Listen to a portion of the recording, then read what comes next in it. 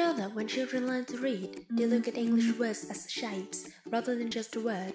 This is why it's crucial to have a curriculum that actually works for your child.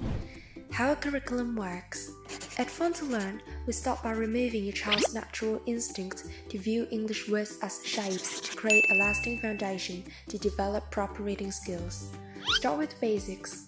We've found that many teachers would begin by teaching children the lowercase letters when it comes to teaching the English language. What thinking is sound, because lowercase letters make up most of the printed text.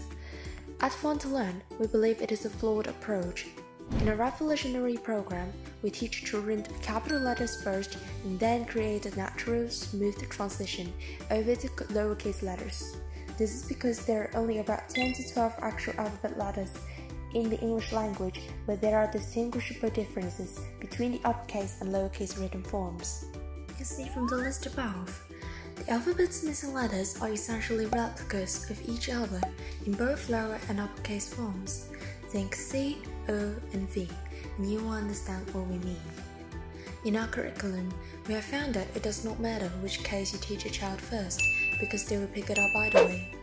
There is a significant benefit of starting with capital letters that it eliminates your child's confusion between the lowercase letters of B, D, P, and even at times Q, which streamlines the learning experience.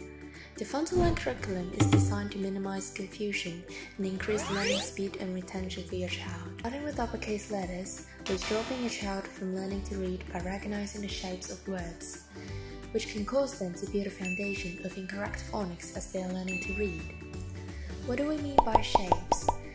If you look at the above words, barn, born, burn, and the uppercase spellings are all rectangular in shape.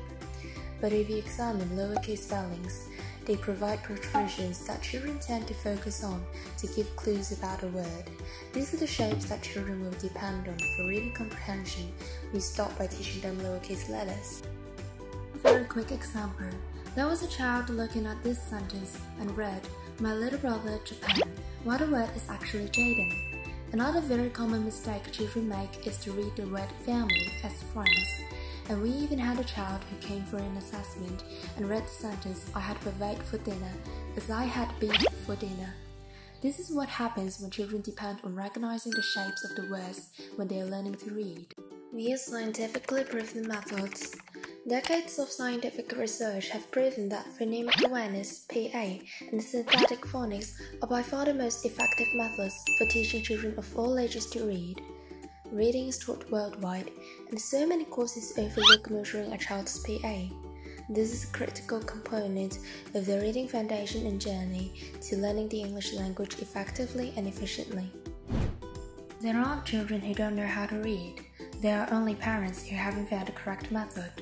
Fun unique method and curriculum can definitely help your child master reading. Join us now!